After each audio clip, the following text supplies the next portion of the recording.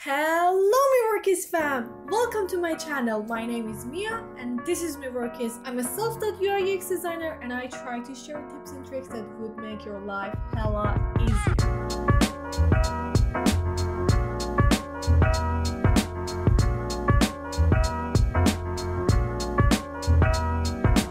On today's video, I'm gonna share five different tools that you could use to sharpen your UI UX skill set. These tools are really good because essentially they look like you're having a mentor upon your hand. So some of these are the tools that I used while I was trying to learn UI UX and there were some other things that I would follow. Let me know if you wanted me to share a video on how did I sharpen my UI UX skills outside of using these tools. What did I use? What did I do? What were my tricks into that. Let's jump into the video now and check out those tools and see how you can use them to sharpen your skills. Okay guys, we're here. I'm gonna go over all of these different websites and just explain to you how you could get the most benefits from each of them. The first one is actually Designer Seas or Designer Size and here it generates random props for you to practice your design. You can choose a difficulty, you can reload until you find something that would benefit you the best. And then you can actually choose a duration of time which can start pause everything. So this is the perfect platform for doing this type of stuff. So i would say like a medium difficulty. And so it says design a dashboard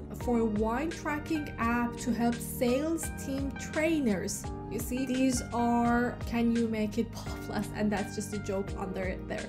This is actually a really good practice for you to get to know different types of businesses and different types of users. For example, this is for the sales team trainers because they want to train different people to understand about their product. Maybe it's a winery, it's on you to decide how to take care of this business and how to grow it. So make this, show it to your friends, families, ask them to help you, give you feedback on it it and I think this is a really good way to understand different types of users and different types of business. The next one is similar to this one, it's sharpen.design and here you can decide if you want to work on a design, STEM education, they have all types of generators here and for example for design you could choose product and UX which I chose here and I would say for a digital product and you can just refresh for it to give you new ideas. So it says that design a VR tool for a zoo in the UK and it should be accessibility focused so every everyone can actually use it. So this is again a really good thing because for example I saw me I just designed a VR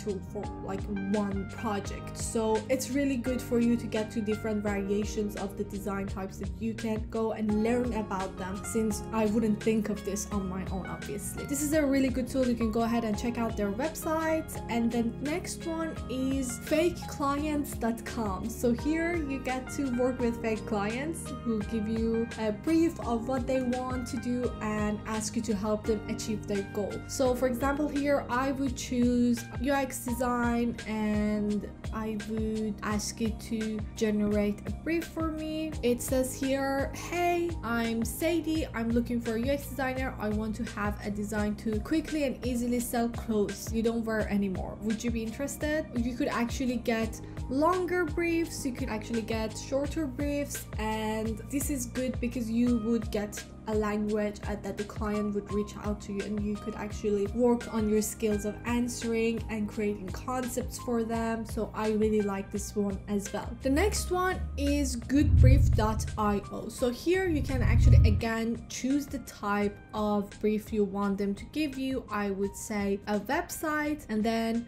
what would the industry be? So whatever you're interested in or whatever you want to work on this is what type of brief they're going to suggest to you. So i'm just going to say technology as it is here. I'm going to ask it to generate. So this is a more fully structured brief. This is somehow better if you want more details. This is better than the fake clients if you want to have like a more structured briefs. So it, it gives you the company name it gives you the company description of what they do it gives gives you the job description and it actually gives you a deadline. I wouldn't suggest you to follow this deadline because obviously you could get it done faster. But again, this is a really good way of understanding different types of briefs that clients would give you. On the real world, you would have a lot more details than this. Let me know if you want me to create full briefs from real clients of mine for you guys so you could actually work on some real projects. But this is good as well for a start. And then the final one is the Drawerrr. So it actually gives you different challenges that you can even submit here and win prizes. This is really exciting. You can just click on get a challenge, choose all of the different types of problems that they're showcasing right now. So it's commuting, diet, groceries, household shopping, travel. I would just click on shopping. So it says that help people make their stuff last longer, design a late shipping options, like all of these different types of challenges challenges that you can choose. I would choose design an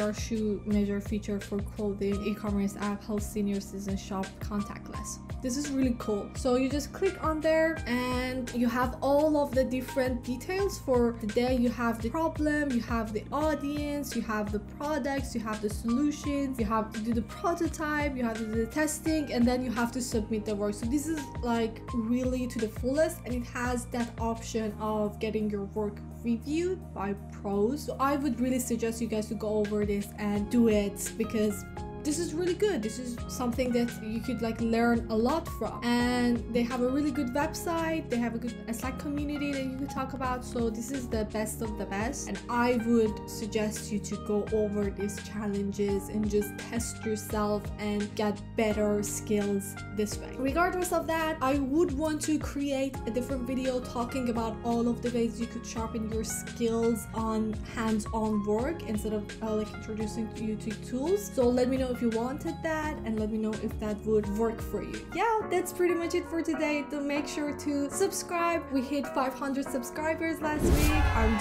super happy about it and I'm really thankful to all of the new people that joined my channel. Welcome. I hope you enjoyed the journey with me. So don't forget to like, leave a comment, let me know what you thought about this video. Would you use any of these tools? And if you already have, what do you think about them? That's it pretty much for today. See you in the next video. Bye! Thank you